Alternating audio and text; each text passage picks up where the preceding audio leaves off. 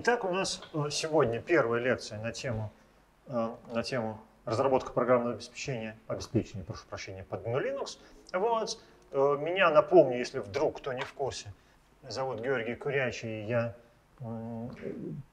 работаю на факультете вычислительной математики кибернетики в лаборатории программного оборудования. Не спрашивайте, что это такое. Вот. Довольно давно читаю всевозможные курсы по э, Unix Linux системам, а также, вот как выяснилось, еще и по питончику.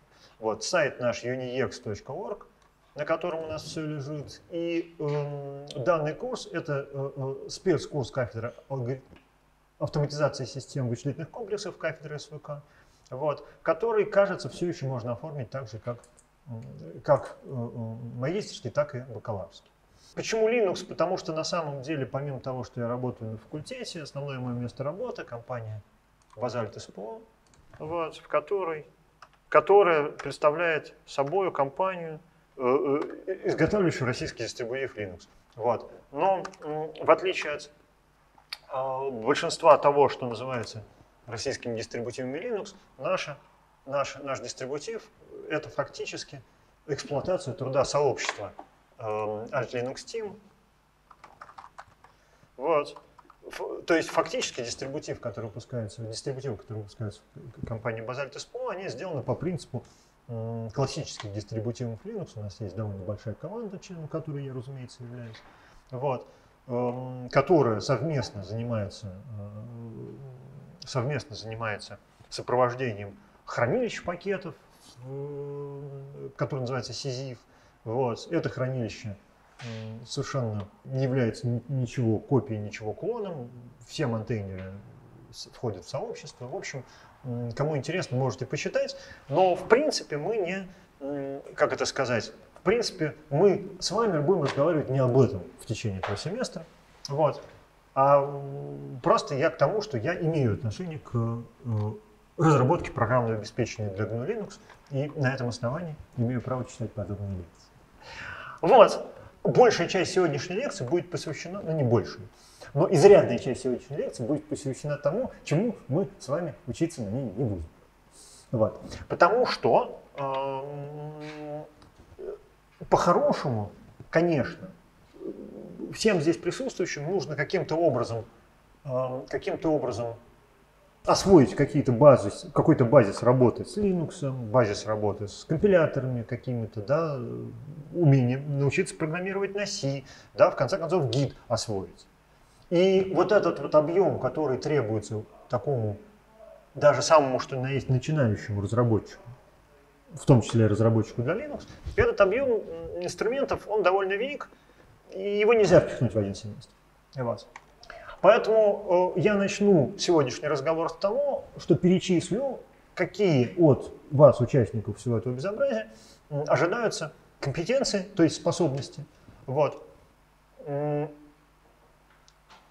форме, чего мы не будем изучать, и что при этом, что при этом вам может пригодиться. Значит, как-то вот очень коротко представился, ну да ладно, все, все примерно понятно. Да?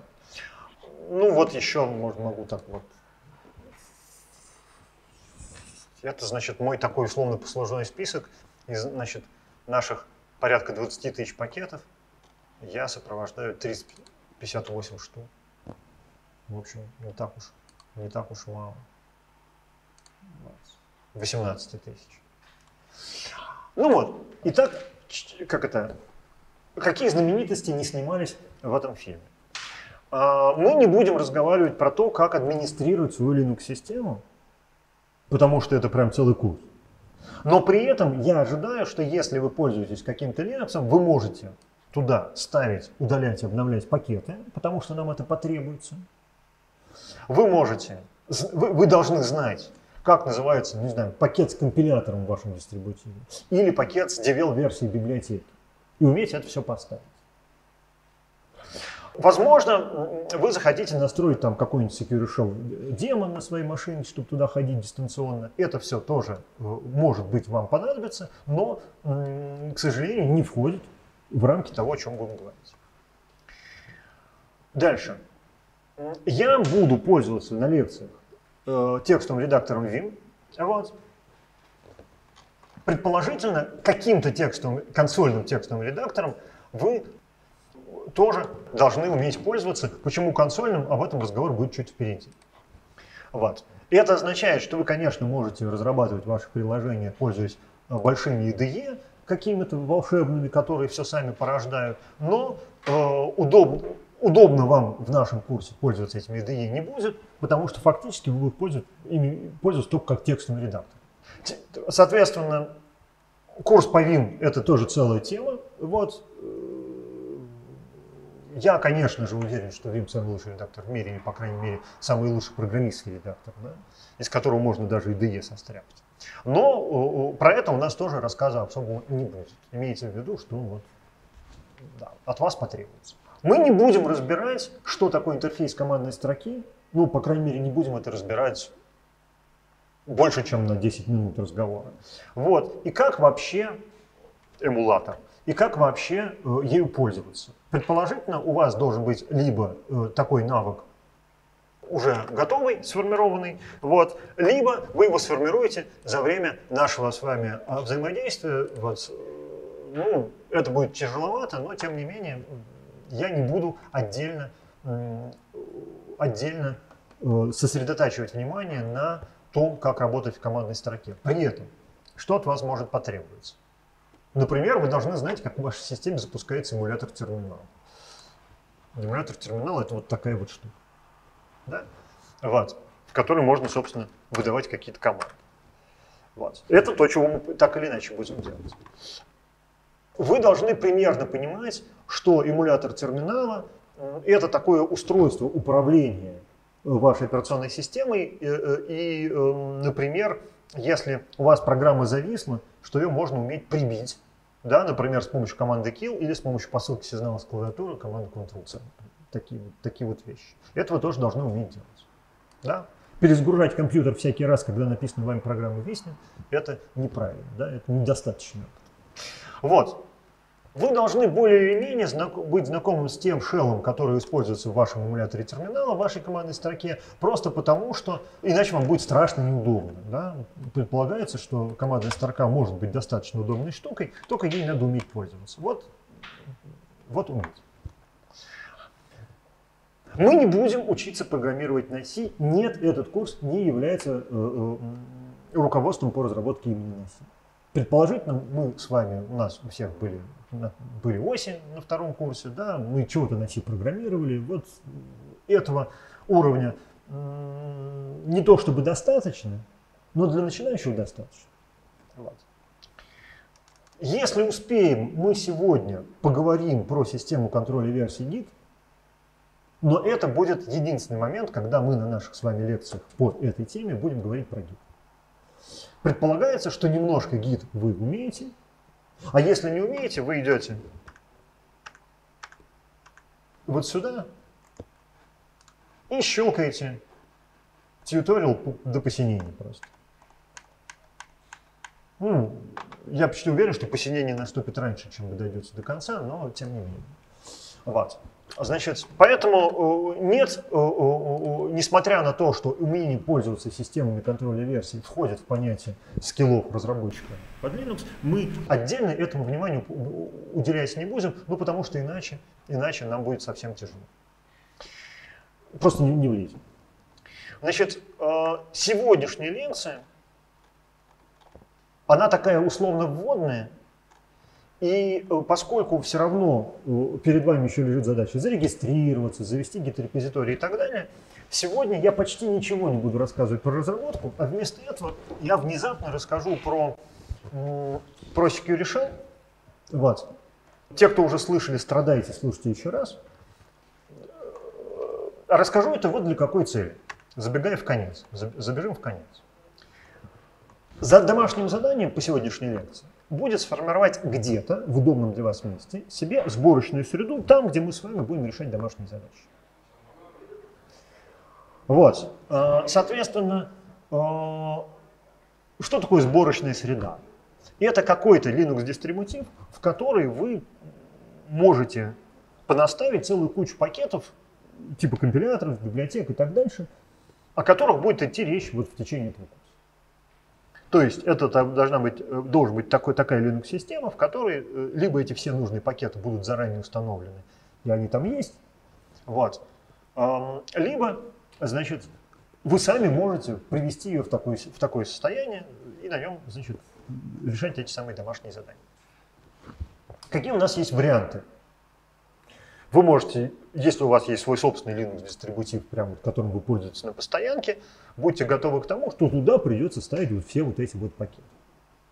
Если вы не хотите засорять ваш дистрибутив какими-то левыми пакетами, которые потом непонятно как удалять, вот, вы можете либо запустить виртуалку, еще или иное изолированное окружение. Вот под Windows есть такая штука Windows Subsystem for Linux, который на самом деле является Linux Subsystem for Windows, но я не понимаю, почему они так называют.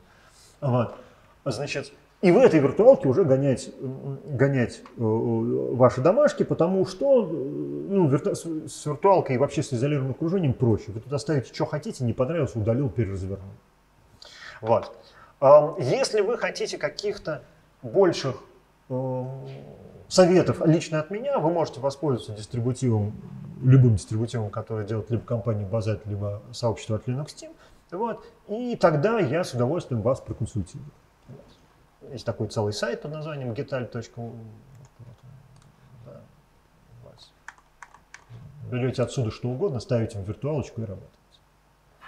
Если же у вас, э, вам интересно смотреть в сторону разработки, но заниматься Э, администрированием и вообще обслуживанием какой-то Linux машины вам неохота, тем более, что мы про это не разговариваем в течение семестра, э, есть бэкап, такой э, запасной вариант, который состоит в том, что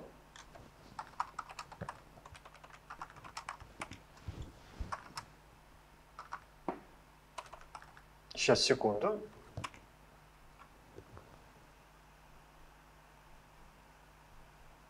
Ох, как это плохо.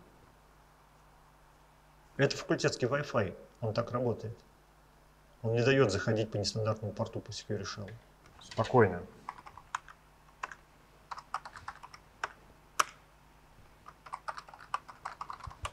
Нет таких, нет таких крепостей, которые бы не взяли большевики. С этой машины у меня есть доступ. Сейчас. Вот мы добавляем ключик. Вот я про это как раз сегодня собирался рассказать. Вот. Um, да, так вот, значит, если... Ух ты, там кто-то... Тут их меня двое, что ли? Точно, я дважды залогинился. Вот, если э, у вас нет желания э, самостоятельно администрировать свою Linux-машину и э, все это делать, вы можете получить аккаунт вот на этой виртуалочке, она называется Linux Prac, вот, на которой я сам делаю все домашние задания, и на которой, как следствие, будут стоять все то, о чем разговор... Э, э, будет установлено все то, о чем идет разговор на лекции. Вот. Для этого мне нужно просто в личку в телегу написать, выдайте мне аккаунт, я вам выдам там аккаунт. Вот. Эта машинка используется, ну, сейчас она, эта виртуалка не используется ни для чего, вот, а я, может быть, если будет у меня время, покажу, что там еще есть на этой виртуалке, но пока что нам не до того. Вот. Так вот, а, чтобы, а, чтобы вообще это все было возможно, и вы понимали, что я делаю, когда я вот захожу на этот самый Linux Prac, и там работа, э, как раз ради этого я потрачу часть сегодняшней лекции на рассказ про, э, про Security Shell. Дополнительно этот рассказ про Security Shell э, я хочу использовать на других лекциях по другим курсам, чтобы по, сто раз не, одно, не читать одно и то же, а вот э, ссылаться вот на этот кусочек. Вот. Поэтому я планирую рассказать побольше. Итак, э, поскольку вы можете попросить, э, попросить у меня аккаунт на этом самом ССХ, то про него надо рассказать. А еще на самом деле в процессе вот этого разговора я вам сегодня продемонстрирую примерно, как я вообще работаю с с командной строкой. Вот. И в следующий раз, может быть, будет меньше недоговоренности, больше понимания того, что, почему, что, что это такое, я с такой скоростью делаю. Ну вот, значит, самое важное, что стоит упомянуть, прежде чем говорить про Security Shell, про то, что вот эта вот штука, вот этот вот экранчик, называемый эмулятором терминала, называется эмулятором терминала вот по какой причине. Когда-то очень давно компьютеры управлялись с помощью Во. Вот. Вот эта штука может показаться, что это компьютер. В действительности этот девайс называется терминалом. Это такое устройство, состоящее из клавиатуры и электронно-лучевой трубки, подключающееся к компьютеру по компорту. По порту последовательно. Вот. Он умеет передавать байты и эти байты как-то рисуются вот на телевизоре. Один байт, одно знакоместо. Как на печатной машине. И получает байты с клавиатуры, как с печатной машины. И, соответственно, каждая клавиша это либо один байт, либо несколько посылается. Все. Вот аппаратный терминал выглядел так. Соответственно, очень удобно было им пользоваться как печатной машинкой, а также как, ну, понятно, и как устройством выводом тоже. Вот. Понятное дело, что в какой-то момент необходимость в такого рода устройствах, которые передают и получают байты и отображают их, она пропала, и наши современные клавиатуры и монитор это, в общем, гораздо более сложное устройство. Вот. Но э, Linux Unix системы продолжают управляться с помощью так называемых терминальных линий, то есть э, некоторых логических потоков ввода и вывода, подключенных к какому-то воображаемому компорту последовательному, по которому они получают байты и выдают тоже байты. Вот. Поскольку даже компортов у нас уже теперь в компьютерах нету, все, все это финишировало в так называемый эмулятор терминала, который вот этот вот экранчик эмулирует вот этот экранчик. Наша клавиатура, на которую мы нажимаем, делает вид, что она вот такая клавиатура. Операционная система делает вид, что у нее есть комфорт к которому все это подключено. Вот. Собственно, вот этот PTS-1, это и есть псевдотерминал. Вот. Там ничего хитрее, там есть PTS э, это выходной, TTYP это входной, но это не очень важно. Важно то, что э, в результате путем эмуляции всего мы продолжаем управлять нашей операционной системой с помощью потока байтов. Вот и, э, э, значит, и она значит, этот, продолжает управлять нами тоже с помощью потока байт. Понятное дело, что с такого рода устройства управление компьютером превращается в такой обмен фразами. Да? Мы ему что-то говорим, да? а он нам что-то говорит. Вот. Мы туда команду, он нам ответ. Ну, собственно, это и есть интерфейс командной строки, как он есть. Э, я обещал про него особо не рассказывать. Вот. А, соответственно, сеанс работы выглядит так, что вы сначала подсоединяетесь к какому-то удаленному компьютеру, работаете, а потом отключаетесь. Вот. Или вы включаете терминал, настоящий, аппаратный, вот тот самый, да, вот этот вот, вот этот вот. Включаете терминал, он посылает аппаратный сигнал, у меня появился, значит, э, хэнг. Ну, короче, что он трубку поднял, как телефон. Компьютер говорит, о, включили терминал, давай логиниться. Вот. Потом его разлогиниваетесь, выключаете, он говорит, я трубку положил. Компьютер говорит, все, это устройство не активно. Соответственно, когда я логинился, вот тут при вас еще не включил ничего, то есть не при вас, не при вас, да, а не при вас, а при вас, да, вот, э, э, э, то вы видели, что я там владел логин пароль в каком-то графическом режиме, вот, и, соответственно, терминал у меня просто запускается как отдельное, отдельное окошко. Да? А вот когда я получаю удаленный доступ, я, конечно же, должен предоставить какие-то креденшалы удаленной машине, в данном случае машине Linux Prague, то есть рассказать ей, кто я такой, потому что ну, первый попавшийся человек по интернету удаленный доступ, конечно, получить не может. Волшебным образом я ничего не говорю, как видите.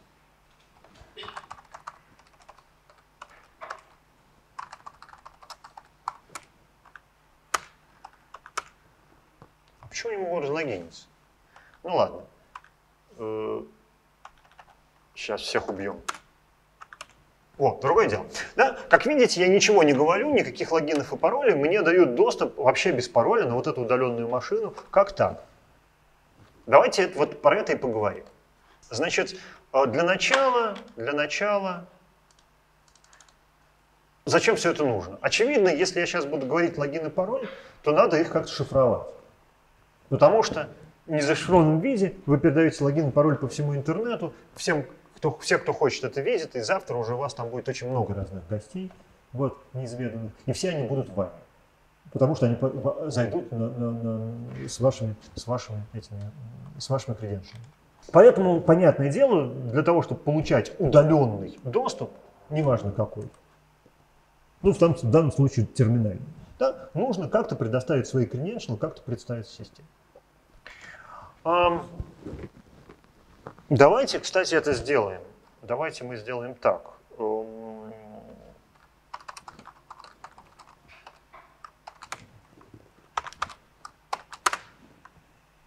Вот сейчас, если я попытаюсь зайти, меня спросят пароль. Да?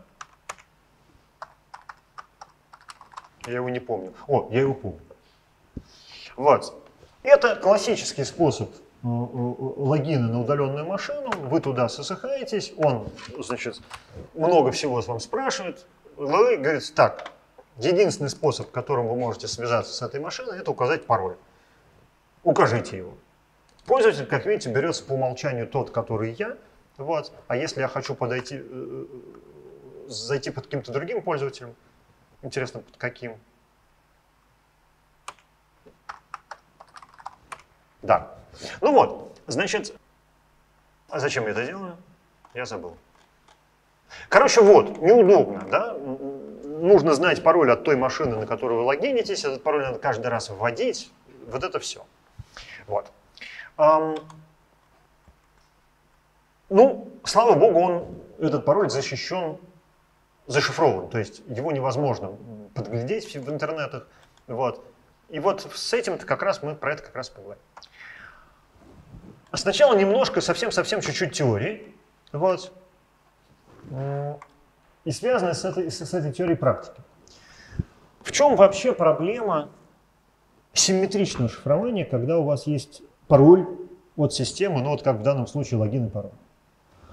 Если вдруг необходимо обеспечить доступ более чем одному человеку к ресурсу, у каждого этого человека должен либо свой логин и пароль быть, либо этот пароль надо всем рассказывать. А что знает двое, тот знает весь мир, как известно. Вторая проблема состоит в том, что вот этот пароль, секретный пароль, штуку, которую вы должны никому не говорить. Вы постоянно всем говорите, вы постоянно его набираете на клавиатуре, вы постоянно его, значит, то самое, передаете на удаленную машину, там он анализируется, этот пароль. Ну, то есть, эм, некоторая противоестественная ситуация, что вот ровно ту самую часть ваших креденшалов, ту самую учет, часть учетной записи, которую не надо никому рассказывать, вы постоянно всем рассказываете с риском на пропаганду. Вот. Суть асимметричного шифрования в том, что у вас есть два разных ключа. И с помощью любого из этих ключей сообщение можно зашифровать, и при этом дешифровать его можно только с помощью второго. И наоборот. То есть, еще раз, мы одним ключом шифруем, любым из этих двух, а другим дешифруем. В чем э, бонус такого, такого подхода? Один из этих ключей мы делаем секретно, другой публично. Секретный ключ мы никогда никуда не передаем и никогда никому не рассказываем. Публичный ключ мы раздаем всем. Тогда ситуация, когда мы взяли, раздали всем свой публичный ключ, зашифровали информацию своим секретным, означает, что э, это так называемая электронная подпись, потому что э, в этой ситуации расшифровать эту информацию можно только вашим публичным ключом, только им, больше ничем. И это значит, что вы подтверждаете, что зашифровали это именно вы. Обратная ситуация, собственно, то, что называется странным словом шифрация, чтобы не путать со словом шифрование. Вот. Значит, э, обратная ситуация, вы берете публичный ключ вашего получателя, вашего сообщения, С помощью публичного ключа получатель вашего сообщения шифруете это сообщение, и больше никто на свете, кроме него, получателя, это сообщение не сможет расшифровать. В отличие от ситуации с симметричным шифрованием, э, получается такая штука, что вы эм, э, вот этот приватный ключ вообще никогда никуда не копируете, никому не рассказываете, он всегда при вас. Вот что, в общем, хорошо. Вот. Так вот, э, да, никогда никому не показывайте закрытый ключ, никогда его не оставляйте в публичном месте. Это хуже, чем пароль. Потому что пароль вы все-таки как-то кому-то передаете, а, публи... а закрытый ключ никому никогда. Публичный ключ можно вполне себе рассказывать людям. Для того, чтобы сравнивать публичные ключи, ну вообще ключи, они вообще большие, да, вот мы тут видели, я тут э, где-то где в этом диалоге, у меня был здоровенный такой ключик, прям здоровенный, вот.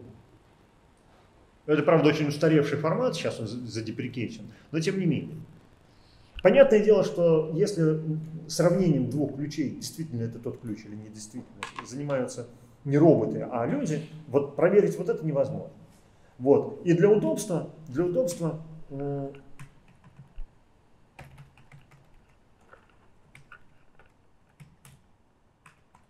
А, нет. Ну, сейчас мы сгенерируем какой-нибудь ключ. Вот. Для удобства э, такого дела вводится понятие э, отпечаток ключа. Отпечаток ключа это просто хэш, который э, невосстановимый, разумеется.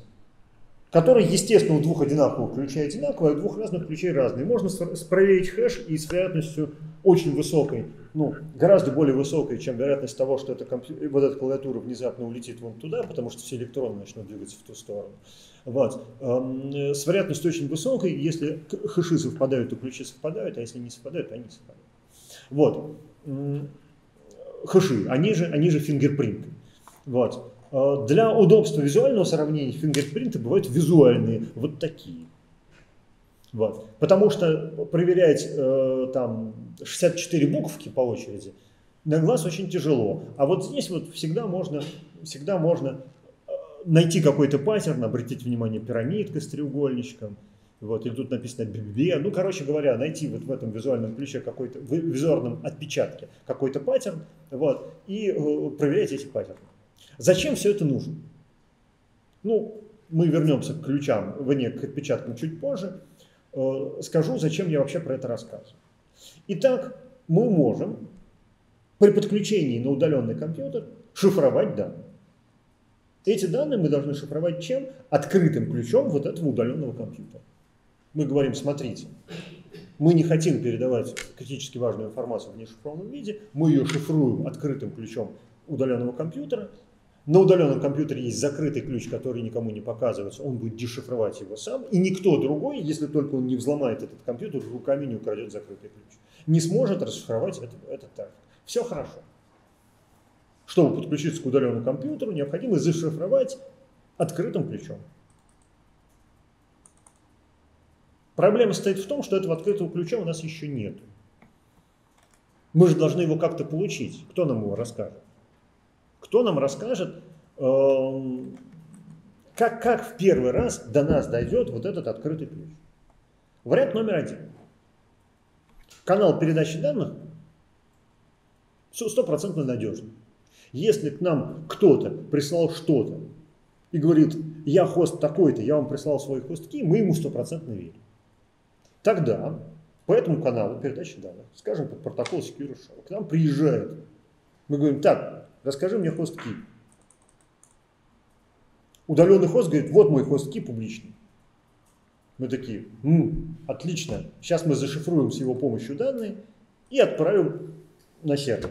Сервер дешифрует их с помощью своего приватного ключа, парного, и всем хорошо. Трафик в сети зашифрован, все хорошо. Следующая ситуация. Мы не доверяем нашему каналу. Он может быть скомпрометирован, а может быть и нет, мы ему не доверяем.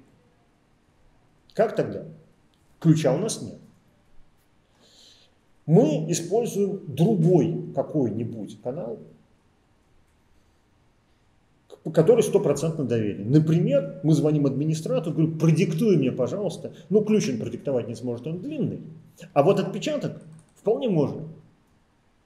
Продиктуй мне отпечаток. Или он лежит там на веб-сайте, или опубликован в DNS, тоже так бывает. Там есть поле TXT в DNS, вы можете прям там. Мы что делаем? Мы говорим, дай мне хостки. Удаленный хост говорит, вот тебе хост. Мы говорим, да, сейчас проверим. Вычисляем его отпечаток. Сравним этот отпечаток с опубликованным ключом. Хоть вручную, хоть автоматом, хоть там вот на бумажке вам админ это переслал, неважно, другим каналом. Если отпечатки эм, совпадают, то вероятность того, что это тот самый хостки, очень высокая, вот, э, достаточно высокая, чтобы мы этому делу верили. И дальше поступаем, как было. Шифруем с помощью хостки, присылаем удаленный компьютер, он дешифруем с помощью привей. Сеанс защищен. Третий вариант. Канал скомпрометирован, но мы ему все равно верим. Вот здесь, возможно, так называемая атака monkey in the middle, ну или man in the middle, э, которая подменяет, перехватывает наш трафик и подменяет credential. Делается это так. Мы посылаем запрос, хост, расскажи хост ки. Атакующий этот запрос перехватывает, сам посылает свой собственный запрос, расскажи мне хост ки, получает этот хост ки, а в ответ на наш вопрос присылает свой хост ки.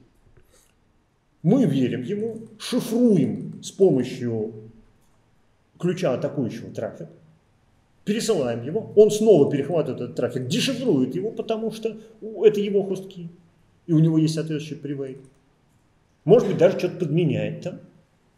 Шифрует своим, а, шифрует хостки, которые он получил от настоящего абонента, и отсылает дальше.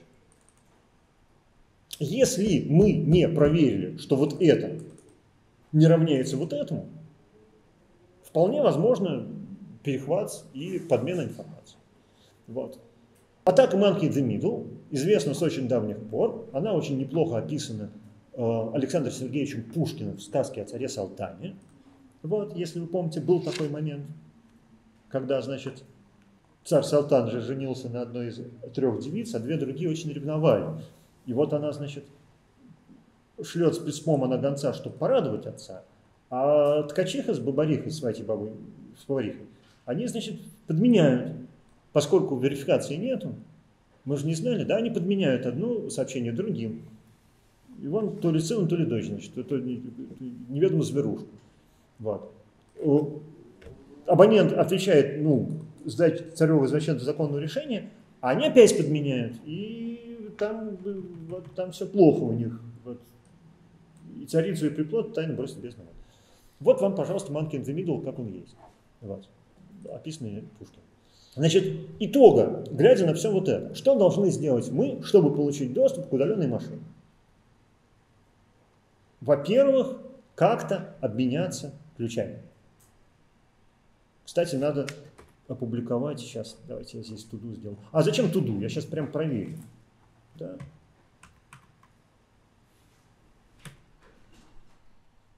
Так. Сейчас мы сделаем это.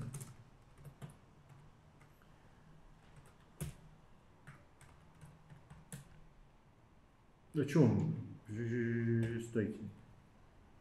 Стойте, стойте, стойте, стойте. Нет, это прав. Я пытаюсь понять, у меня есть этот ключ среди, среди хостки или нет. Секунду. А, вот. А почему он меня не спрашивает? А, потому что он вот так выглядит. Все. Я хочу просто показать, как это выглядит в реал, в реал лайфе. Сейчас мы удалим этот ключ. Вот он.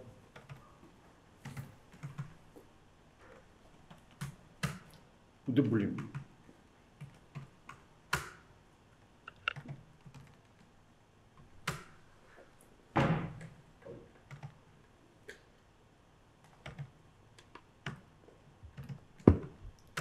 О, смотрите, вот э, мы сейчас видим тот самый первоначальный обмен, обмен ключами через предположительно стопроцентно надежный канал. Ну, вряд ли кто-то за эти несколько секунд э, умудрился перехватить мой трафик и э, все подменить. Но на самом деле, помните вот эту картинку? Треугольничек, треугольничек, бе-бе-бе-бе. Я это уже говорил. Это тот самый ключ, мы уже увидели его. Это ключ моего удаленного Linux праха, который, кстати, надо тут сейчас опубликовать, потому что это именно он. Итак, нас спрашивают, а тот ли этот хост? Ну, конечно, вот эту штуку я наизусть не помню, а вот эту штуку я узнал, вот эту, вот эту пирамидку без угла, да, и БББ. Так что говорю, да, это тот хост, туда можно заходить. И дальше он спрашивает логин и пароль. Мы решили только половину проблем мы научились шифровать трафик при связи между э, э, нашей машиной и удаленным хостом. Но у нас все еще спрашивают пароль. Пароль мы тоже не хотим выдавать. Вы же не хотите мне рассказывать свой пароль, когда будете регистрироваться. Поэтому мы сделаем следующее. Мы сгенерируем свой собственный ключ и скажем удаленной машине, вот этому Linux праву, чтобы он нас пускал не по логину и паролю, а по предъявлению закрытого ключа. Мы будем шифровать трафик нашим закрытым ключом, а нашим открытым ключом, который мы положим сейчас туда, на удаленную машину, мы будем его дешифровывать. И тот факт, что эта дешифрация вообще возможна, будет означать, что это действительно мы, потому что никто, кроме нас, нашим закрытым ключом воспользоваться не сможет. Вот. Вместо логина и пароля будет наша пара приватный ключ у нас, открытый ключ мы положим в удаленную машину. Давайте это сделаем. Вот мы, значит, генерируем ключ с помощью команды gen. Вот. Обратите внимание, два, две штуки генерируются. Ну, допустим, они называются IDRSA, это, в общем, не очень важно. Да? Мы можем использовать алгоритм, давайте так, минус t, ED, вот, вот это. Можно указать тип ключа. По умолчанию RSA-шный ключ грузится. Про него хотя бы известно, что он вычислительно непробиваемый на современной технике. А вот про алгоритм ED25519, который делает Диджиберштейн, известно, что он очень супер крутой, но про него еще не доказано, что нельзя его индексировать. Кажется, не доказано. Но это эллиптические функции, с ними вообще все тяжело, их нельзя просто так индексировать. Вот давайте сгенерируем такой ключ. Вот, он говорит, Будем генерировать? Будем. Введите пасфразу. Ну, давайте введем пасфразу, я не знаю какую. Ну, какую-нибудь.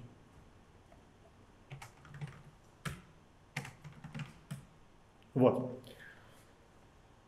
Публичный ключ, который я только что сгенерировал, лежит э, в точке SSH, называется id ed2519.pub. Вот он. У него вот такой отпечаток. И вот такой отпечаток, э, этот самый, ASCII, ASCII, ASCII фингерпринт. Вот. Ну, какой-то он невразумительный, хочу еще раз.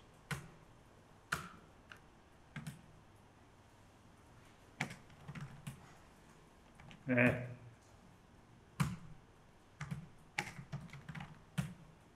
Да блин, извините. Хочу правильную пасфразу ввести.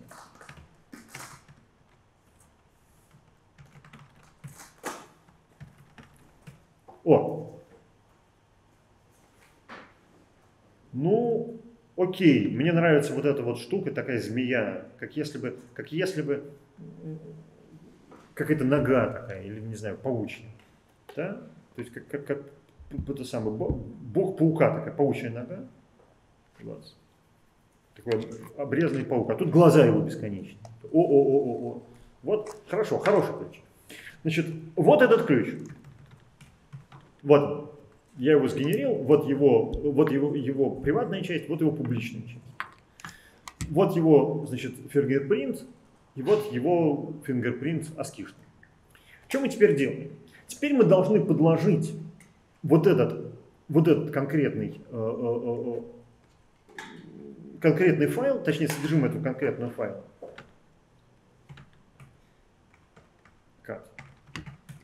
Вот. Он, кстати, видите, довольно небольшой по сравнению с тем DSS ключом, просто маленький. Но это потому, что эллиптические функции, они вычислительно очень сложны. Мы должны подложить вот этот конкретный ключ в специальный файл, который называется authorized keys. Authorized keys – это файл, где перечислены э, все ключи открытые. Если с помощью них можно дешифровать трафик, значит логин авторизованный – это как если бы вы рассказали логин и пароль. Вот. Эм, как это сделать? Ну, это делать с помощью скрипта, который называется SSH Copy ID. Дальше мы говорим пользователь. Дальше мы говорим, на какой, на какой машине он находится. Вот. Он говорит, смотрите, у вас тут есть один ключ. Сейчас мы его туда скопируем. Ну, сейчас скопируем.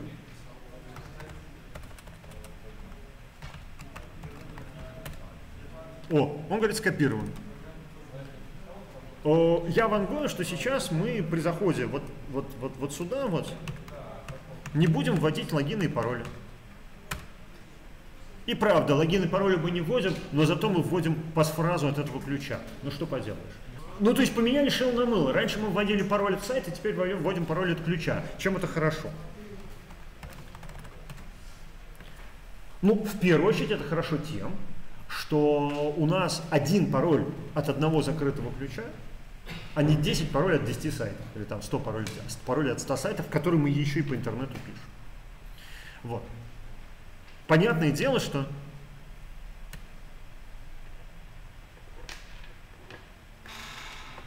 м-м-м. кто-то загинился пользователем юзер. Интересно, кто это был. А, я даже знаю, кто это был. Я даже знаю, кто это был. Только его здесь нету.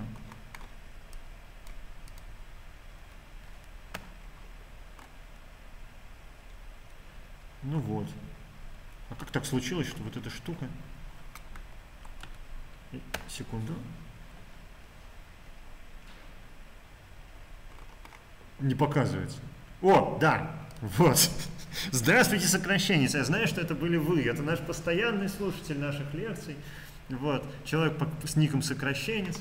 У него есть аккаунт на, нашем, на нашей машине Linux Prague под именем User. И вот он оттуда нам шлет такие загадочные сообщения на, на не вполне русском языке. Да, таки, таким образом, смотрите, что произошло.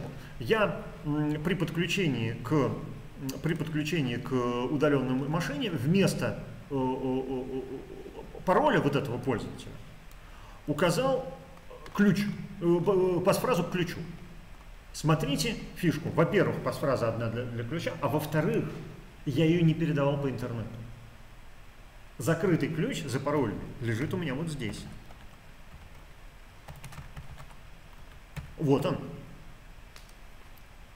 И это моя локальная машина спросила этот пароль, деш, э, дешифровала, э, э, распаролила этот ключ и с помощью этого ключа зашифровал данные, отправил туда и так дальше. То есть вот, это вот, вот этот вот диалог, он сравнительно безопасный. Во, вот этот диалог, он сравнительно безопасный. Он происходит не удаленно через интернет, а на вашем компьютере. Который, предположительно, вы администрируете, вы понимаете, что там происходит, никого не пускаете. Вот это. Ну, дальше больше. Давайте сделаем так, чтобы нас вообще никто не спрашивал пароль. Для этой цели нам потребуется специальная программа, называемая SSH-агент, который висит в памяти и держит распароленные ключи, которые вы ей рассказали. Вот. Вот у меня запустился SSH-агент, он говорит, что вы должны э, настроить вот такие переменные окружения. Вот. Ну, я их прям скопипащу сейчас. Вот. Значит, это сокет, через который происходит на вашем компьютере, обратите внимание, авторизация. Вот. Ну и PID, э, э, идентификатор процесса, запущенного с агентом. Теперь мы можем сказать вот так. Он говорит, у вас в агенте ни одного ключа еще нет. Давайте добавим. Он говорит, введите пас-фразу. Вот он, это наш ключ, можно посмотреть его полностью. Да? Сейчас мы увидим, что это именно он. Вот он, C3 нза. C3 нза. Вот. Таким образом, мы добавили в агент ключ, распороли его в этот момент, когда добавляли. И теперь у нас болтается есть. С этим ключом нас пустят на практику. Упс. Давайте даже повнимательнее посмотрим. Что сейчас произошло? Я сказал с Х-В, который нам сейчас расскажет все, все, все, что происходило. Почитали настройки, посмотрели, существуют ли какие-то у нас ключи. Вот. Посмотрели. Выбрали, выбрали алгоритм шифрования. Залогинились на хост. Хост у нас уже кновн. Помните, мы говорили yes. Хост имеется в каталоге Known Hosts, в, как, в, не здесь, вот здесь, вот он. Во. Ключ удаленного хоста найден в 167 строку, строке файла known host, значит присоединяться можно. На всякий случай он нам написал. Вдруг каждый день мы видим вот эту картинку, а в какой-то момент мы увидим другую. Значит, там какая-то что-то неприятное происходит. Дальше происходит выяснение, а можно ли нам на этом хосте залогиниться. Он говорит, смотрите, у нас есть много разных форматов ключей, мы все из них попробуем. Но сначала мы попробуем вот этот, потому что он в агенте есть. Он прям в агенте уже записан. Поговорили с сервером, какие там алгоритмы шифрования. Он говорит, вот сейчас мы тебе предложим из агента вот этот ключ. Упс, он подошел. Все, authenticated нас аутентифицировали на удаленном хосте, потому что мы ему показали вот этот самый закрытый ключ. Ну а дальше нам выдали shell. Вот такая вот, вот такая вот картина. Значит,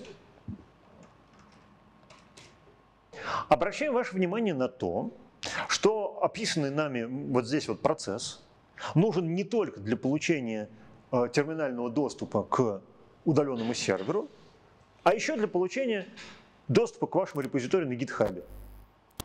Тот же самый ключ, который вы только что сгенерили, или на факультетском GitLab. Можно положить куда-нибудь вот сюда. Вот. Здесь у вас, у, у всех, кто просто студент ВМК, должен быть логин и пароль факультетский, который S чего-то там по номеру студенческого, а у кого нету, э, у того может и не быть. Но тогда вы можете сделать то же самое на GitHub, например. Вот. У меня вот такой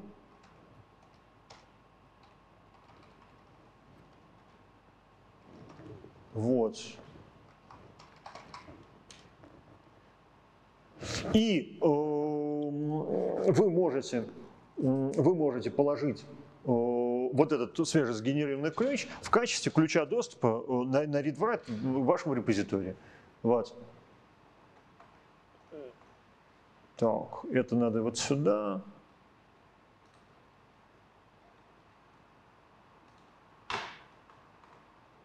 Во. Так я уже делал, у меня уже один такой ключик есть. Вот я могу положить еще один. Да? Вот возьмем, прям говорим. Не перепутайте только, пожалуйста, закрытый ключ с открытым. Ваш закрытый ключ никому не нужен. То есть нет, он нужен всем, конечно, но не так, он всем интересен, но он никому не нужен. Вот. Очень простое правило. Закрытый ключ никому вообще не показывайте. Это никому не нужно знать. Только, только открытый. Вот мы открытый ключ сюда добавляем.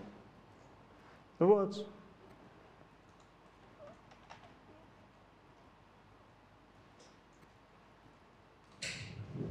Вот он получается. И вот по этому ключу я теперь могу получить read-write доступ до э, моего репозитория, ну в данном случае на факультетском GitLab. Ну, например, склонировать какой-нибудь dummy project.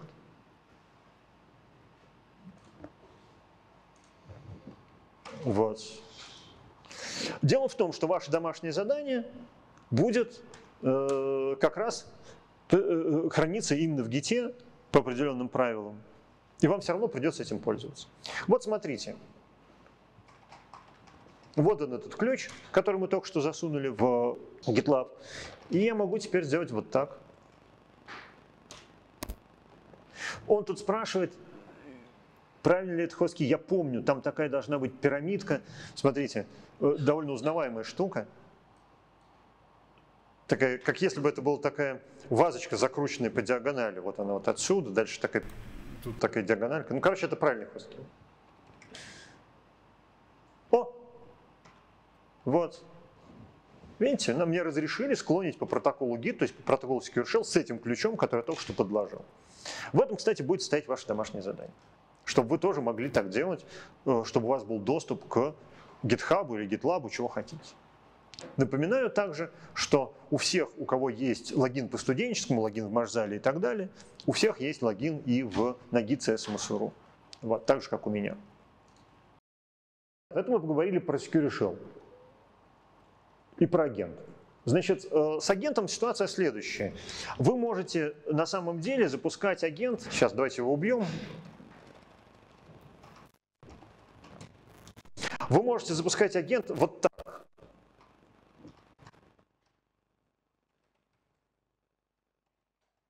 Вот. Значит, что это такое? Это э, запуск вот этого агента, который выдает на, на стандартный вывод некоторые э, команды, которые потом вам нужно скипопастить и выполнить, но вы ленитесь и говорите, вот, пожалуйста, выполни вот это, то, что выполни текст, который эта, эта программа вы, выдаст, как команду шелла. И вот видите, что он делает? Он запустил агента, он все, вот, мы можем сделать вот так вот, мы можем сделать вот так. Короче, все, все, все, все по новой. Вот. Я к тому, что вместо того, чтобы запускать SSH-агент э, руками, а потом делать копипасту того, что он просит настроить, можно делать вот от а все делать вот одной такой командой. Вот. Можно, в конце концов, во многих операционных системах агент запускается сразу по умолчанию, просто по факту логина. Поэтому вам вообще его не нужно запускать. Это, знаете, как проверить? Проверить очень просто. Если вы говорите вот так вот, значит агент не запущен. Да? А если агент запущен, и вы говорите вот так, вот он говорит вот так, ну, все. И это что касается, что касается Security Shell, кажется, я закончил. Так, значит, теперь относительно разработки. Сейчас э, будет такой материал для самых маленьких, конечно. Вот. В этом материале для самых маленьких зелеными галочками будет помечено то, с чем так или иначе мы в этом семестре будем работать. Значит, разработка как таковая, собственно, программирование, там, э, значит, инструменты поддержки разработки и так дальше, вот, работа с исходным кодом, а также, например, подготовка документации к вашему программному продукту. Мы будем говорить про то, как генерировать как генерировать э, техническую документацию из э, комментариев к, функции, к функциям носителя. Вот. Разумеется, сборка программного продукта из э, большого количества исходников – это тоже, чем будем заниматься. Разумеется, тестирование, отладка. Вот. Все это у нас будет. Еще немножко мы поговорим про деплоймент, но только самое начало. Мы не будем работать, не будем делать заливку в репозитории, не будем формировать э, пакета, э, мы не будем э, эм, формировать установщик и деплоймент, и не будем говорить, как сопровождаются программные продукты. Вот этого всего, несмотря на то, что это входит в понятие цикл жизненный цикл приложения у нас не будет, но будет локальный деплоймент, то есть ситуация, когда мы вот только-только сделали наш программный продукт и тут же посмотрели, а как он устанавливается.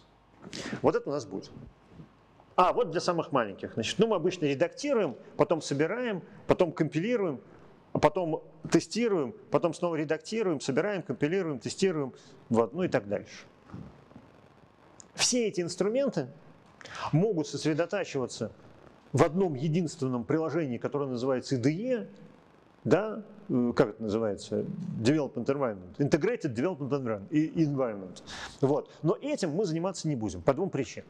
Причина первая, что те люди, которые получат доступ, к, если захотят, получат доступ вот сюда, да, оттуда IDE не запустишь, там только терминальный доступ, соответственно, даже текстовый редактор можно запустить только консольно. Причина вторая, я очень хочу распилить э, вот эту засунутую в IDE-шках под капот процедуру разработки на составные части и посмотреть, как каждая из этих составных частей, э, как каждую из этих составных частей руками можно проделать. Отдельно дебаг, отдельно то, отдельно все, отдельно пятое. Потому что очень часто бывает, что э, такого разработчика линейного сажают за заранее настроенный, там, не знаю, ну вот в случае Python HR, и он, в общем, просто тупо жмет на какие-то кнопочки, вообще говоря, не представляя, что такое система контроля версий даже. Я это видел. Люди не могут э, там тесты запустить на питоне, потому что за них это делает PHR. Вот. Поэтому мы все это распилим на части. А у меня есть э, вполне себе такая формальная отмазка. Мы все делаем только в командной строке, потому что вот ничего кроме командной строки на этом сервере нет. Тогда давайте поговорим про текстовый редактор. IDE поддерживает кучу всего. Чего мы хотим от текстового редактора? Хотим ли мы, чтобы у него была подсветка синтаксиса нашего языка? Ну, на самом деле это удобно. Хотим. Не только подсветка синтаксиса, но и, допустим, автоматическое отслеживание отступов, автозакрытие скобочек, ну, какой-то такой приятный, приятный сервис, чтобы можно было быстро программировать. Хотим. Хотим ли мы, чтобы изнутри редактора можно было сразу сказать, вот этот, вот этот вот этот файл, пожалуйста, собери вместе, и это одна единственная, это один проект. Не хотим. Мы лучше сделаем файл проекта руками, и в этом файле проекта сами напишем, как собирать наш, наш большой продукт. Вот. Э, хотим ли мы, чтобы у нас в текстовом редакторе выскакивали поп-ап сообщения, вот эта функция такая-то, у нее такие-то параметры, вот это все? Честно говоря, не хотим. Да, действительно, э, э, онлайн help очень удобная штука. Но мы с вами все-таки будем делать этот help руками. Маны мы будем смотреть руками. Вот. Итога. Да, разумеется, отладчик, разумеется, какие-то какие профилировщики, все остальное, все это к понятию текстовый редактор не относится, и остается только одна звездочка. Мы будем пользоваться редактором, у которого есть подсветка синтаксиса. Все остальное мы будем делать отдельно руками и, значит, вот. Таких редакторов на сервере, скажем, у нас минимум 4 штуки. Есть, разумеется, есть Vim, без Vim никак. Есть э, на самый крайний случай, не знаю, насколько это нужно, Midnight Commander, точнее, Midnight, самый МЦ едет. Удивительным образом МЦ едет вообще-то, вообще-то, сейчас покажу.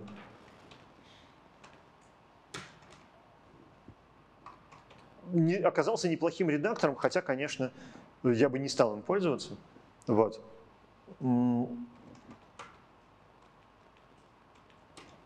Вот он умеет даже что-то какие-то подсветки. Это, это табуляция, если что, вот эта вот хрень, это табуляция. Вот. Есть э, нано и есть, э, э, э, я вот тут нашел специальный проект, он называется микро. Такой редактор. Вот, ой, э, ой, ой, ой, вот. Я им пользоваться не умею. Я умею пользоваться Vim. Так, а как там help, Ctrl-G help? О, тут есть прям help. Ctrl-Q. Вот. Ну вот. Короче говоря, выбирайте по вкусу. Вы даже можете на самом деле разрабатывать приложение где-нибудь дома, а потом с, помощью RSync копировать куда-то на сервер, чтобы их запускать, но это извращение. Как следствие, и это на самом деле единственная э, разумная тема, имеющая отношение к теме нашего курса сегодня. Как следствие, сборочное окружение – это довольно многослойная такая структура. Эм, сокращение страдает. Как это не будет кода поддержки, э, не будет пункта поддержки? Это же самое интересное. Чтение кода, написанного два года назад написание костылей для костылей. Да, тут вот, тут вот это самое а, а сокращение говорит, что еще есть такая штука, как SSHFS, и вы можете удаленно подмонтировать к своему компьютеру по SSHFS значит, э, нечто, отредактировать здесь любимым своим текстовым редактором, а потом зайти туда просто с SSH и запустить там компиляцию. Но это уже тоже мелкое извращение. Вот. Ну как, это не извращение, например, если вы редактируете файл для какой-то хитрой архитектуры, которой у вас здесь нету, а где-то там на удаленной машине она есть, там RISC-V какой-нибудь. Да? Тогда действительно удобно пользоваться вашим привычным окружением, если вы не привыкли пользоваться Vim, а пользуетесь там чем-то таким блокнотом каким-то. Да? Вот. Сохраняйте этот файл на, на HFS, а э, в соседнем окошке компилируете оттуда и оттуда запускать. Так вот, сборочное окружение оказывается многослойной, интересной такой волшебной структурой. Ну, конечно, нам нужен компилятор-компоновщик, то есть что-то, что будет превращать нашу программу на C, а мы программируем в этом семестре на C, в бинарник. Какие-то библиотеки, с которыми вы это собираетесь. Дальше сборочные варианты библиотек. Когда, мы когда будем говорить про это, мы поговорим, чем это отличается. Ну, грубо говоря, include файлы-то вам не нужны для работы программы. Они нужны только для сборки программы.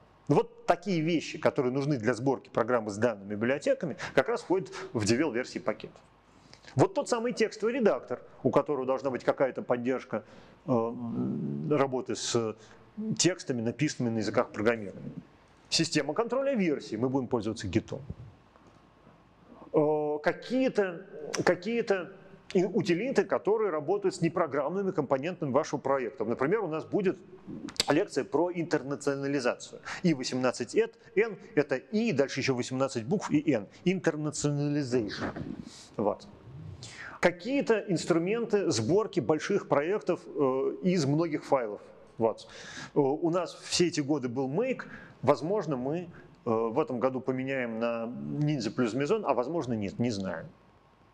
Я все еще топлю за Make, но вот да.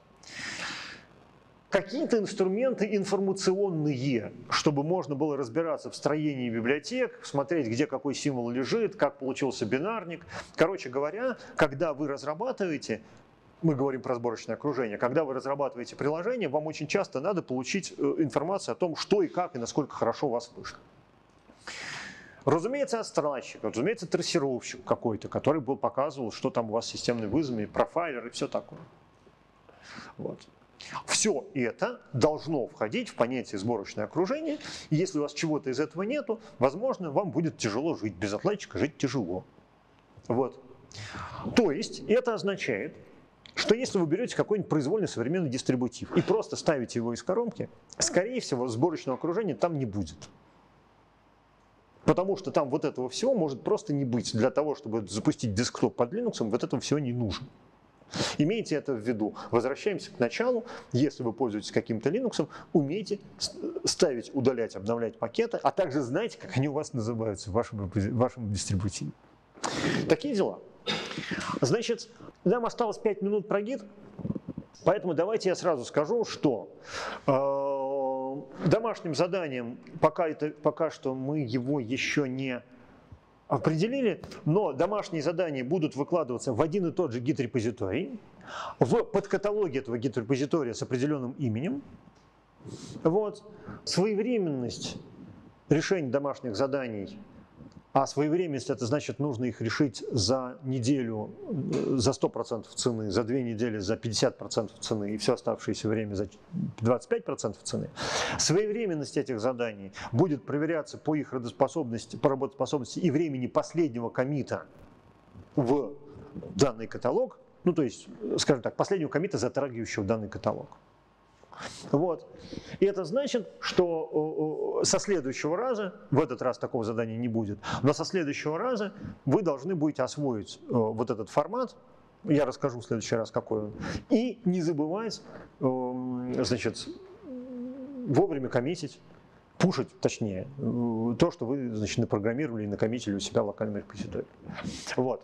Э, сейчас разбираться, что такое гид, мы с вами точно не будем. Просто напоминаю, что вот Git – это распределенная система контроля версий. У вас всегда есть нечто под названием публичный репозиторий. Это ровно то, что, что вам нужно сейчас будет завести в э, решении домашнего задания.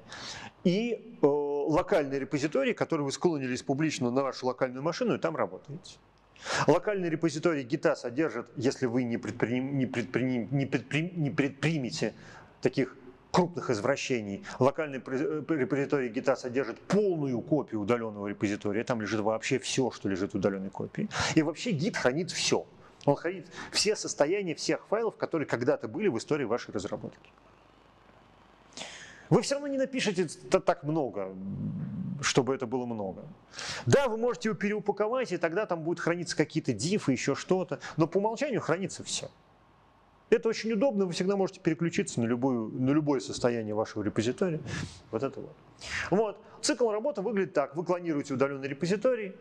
Дальше изменяете что-то, туда добавляете какие-то файлы, редактируете. Дальше добавляете некоторые из этих файлов в комит. Дальше его коммитите. Дальше можете делать следующий комит. Снова изменяете файлы, добавляете, коммитите, изменяете, добавляете, коммитите. У вас накапливается некоторое количество комитов. Дальше вы эти комиты все пушите на ваш публичный репозиторий.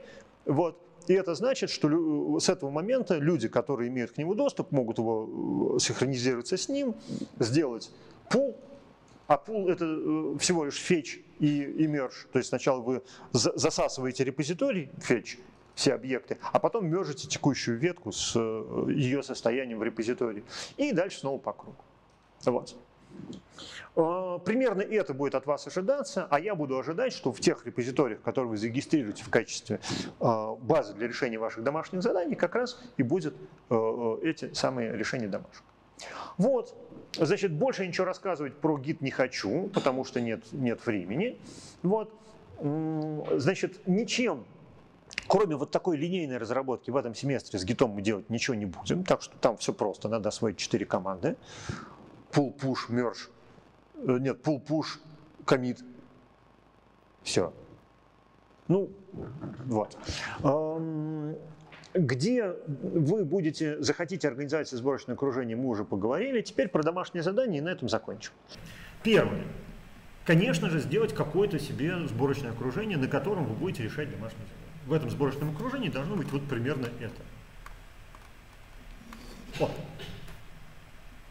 Э, на самом деле, пока что вы должны просто знать, что вы умеете это делать, да, ставить эти самые пакеты, потому что какие-то пакеты мы пока до конца не знаем. Ну, можете посмотреть на конспект прошлого года, что именно там понадобилось. Вот. Но я могу и... По... Ну, короче, я исхожу из того, что практически любой Linux дистрибутив, уж чего-чего, а сборочные инструменты сборки имеет на полном, в полном объеме. Ну, он, Linux вообще для этого сделан.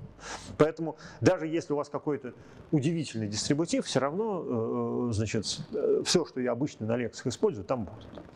Вот. Дальше. Э, заводите себе публичный репозиторий в каком-нибудь гид-хостинге, где угодно. GitHub, GitLab, наш GitLab факультетский, который только что вам демонстрировал. Вы можете даже сам селф-хостинг какой-нибудь гитею развернуть или клитею. Есть такой прекрасный инструмент, который можно развернуть за полпинка, и он будет гит-хостинг вам делать. Вот. Короче говоря, единственное, что от вас требование, этот репозиторий должен быть публичный, то есть я должен уметь делать его гит-клон. Вот. И э, вот здесь вот на гитхабе в качестве комментария вот к этому ишью. Ой, вам придется залогиниться на гитхабе, черт.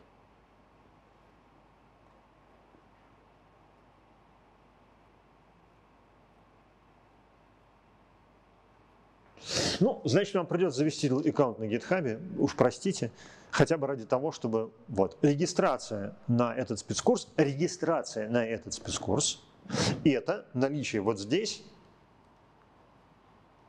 комментария вот в таком виде. Значит, регистр...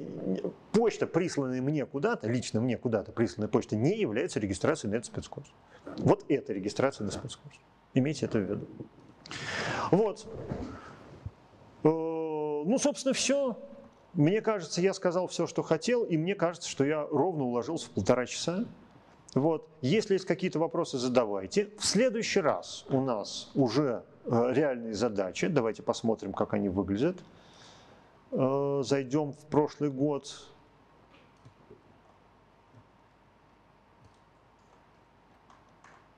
А, нет.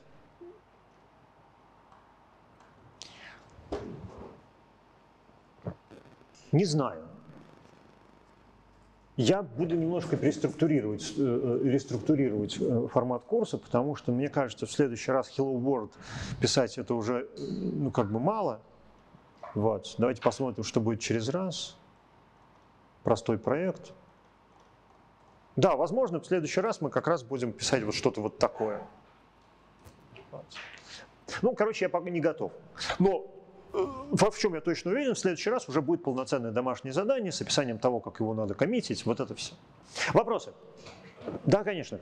Если мы создаем вот SSH-ключ, сгенерировали его и хотим положить свой личный ключ на какой-то сервер, на котором нет нашего аккаунта. Ну, допустим, вот я на Linux не зарегистрирован. Угу. Как мой публичный ключ может туда попасть? Никак. То есть, смотрите, это вообще довольно забавная тема. Если бы у нас, вот в следующем семестре у нас будет курс разработка на питоне, и там мы про гид будем, мы будем говорить больше, потому что это курс совместной разработки, и там будут дисциплины совместной разработки обсуждаться и так далее. Гид как инструмент, он не обладает, так сказать, алгоритмической полнотой. В нем нет способа задеплоить ключ. В Гите даже нет способа на удаленном сервере завести пустой репозиторий. Обычно на хостинге есть такая кнопочка «Завести репозиторий». Именно потому, что вы не можете это делать. Э, Поэтому тут, в общем, проблема курицы и яйца. Вы сначала должны зарегистрироваться, а потом подложить ключ. По-другому не получится. Вот. Соответственно, для того, чтобы зарегистрироваться на Linux Prague, вы мне присылаете открытый ключ. Ровно так. Еще вопрос? Если нет, тогда всем спасибо. В следующий раз, значит, я еще не уверен, что у нас будет что, но точно будет боевое программирование. Вот. Э, я надеюсь, возможно, мы уедем из этой аудитории, она мне не нравится из-за того, чтобы, из-за того, что Wi-Fi и, и проектор страшный, но, как это, как известно, лучший враг хорошего. Да, не исключено, что следующая аудитория будет еще лучше, и мы опять переедем в эту. Но посмотрим, посмотрим. Дмитрий Юрьевич обещал, обещал поискать аудиторию. Все, всем спасибо и до новых встреч. Вот. Не забудьте зарегистрироваться. Э, регистрация заканчивается, кажется, формально. Вы можете себе в спецкурс записать до конца сентября. Я не помню.